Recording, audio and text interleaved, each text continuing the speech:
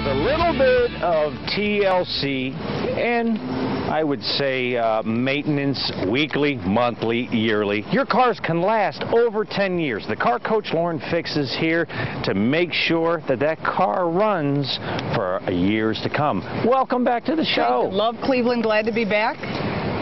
Are people keeping their cars longer these days? They are. People are keeping their cars about 10 years, and that's something that's becoming very common. They want to get 100,000 miles out of whatever it is they have. And cars are expensive, and the average price of a car is about 25 to $30,000. A lot of money.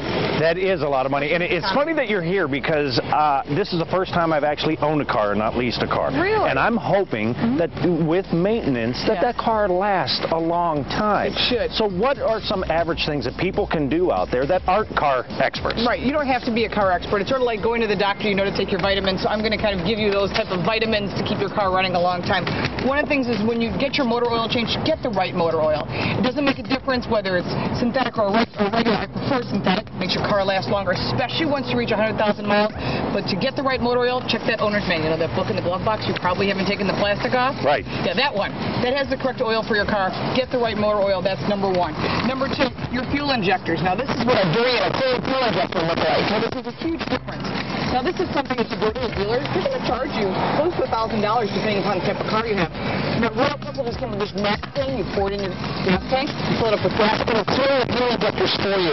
Now, if it is really gummed up and you have high mileage now, it's still going to have to be cleaned, but this is sort of like preventative maintenance. Okay. And things you can check visually are hoses and belts. You see them frayed, they look like this. You don't have to be an expert.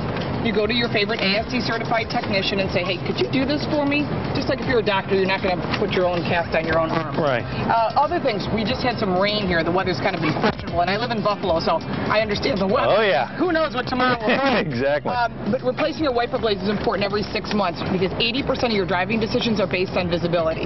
And I use these flat blades on this particular vehicle, but I also have a Mini Cooper. It's got a very steep windshield, and it, the, my old windshield wipers were chattering. They were jumping. Oh, yeah. So I put on these Trico force blades. They're flat, they've got a wing on them, and it kept the pressure down with the wind.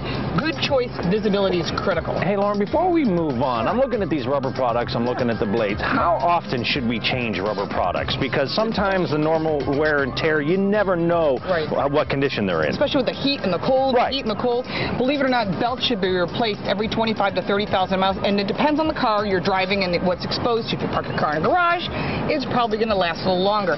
When it comes to wiper blades, it's every six months. When it comes to hoses and belts, it's what it says in your owner's manual. Some are internal and they need to be replaced, but critical, have a technician look at it so you don't, it's going to be quite a few thousand miles. If you have 50,000 miles, right. go, you know, I'm going on a long trip, a belt's only 20 bucks. I'd rather get it replaced than be stuck on the side of the road. All right. Well, speaking of stuck on the side of the road, you have to be prepared for anything. Whether it's nice weather, bad weather, right. you need to have a kit. What do you have right. here? Uh, emergency kit is obviously critical, and instead of those flares, I always recommend an LED flare, but most people don't know how to change a flat tire. And the funny thing is, I took the tire and rim combination off of this truck, put it on a scale, it was over 100 pounds. If you're wearing a suit, you're probably not going to want to change a tire in the side of the road with the construction. I'll Fix-a-Flat makes the ultimate one step. Seven minutes, one end in the lighter, the other end goes into the tire.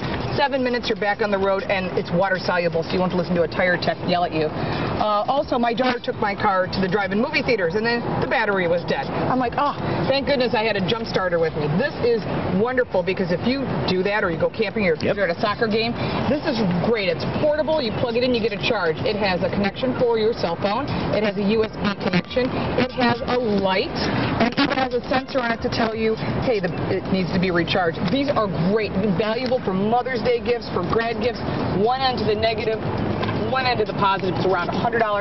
Best investment, this is actually the one that I keep in my car, so it helped get her back on the road. That was a Christmas gift to my father. He says, oh, I'll never need it. Three months down the road, he actually had to use it. So right. maintenance, just simple maintenance. Right. Be prepared, right. and your car should last oh, a long time. At least 100,000 miles. The key is April's National Car Care Month, although we're at the end of April.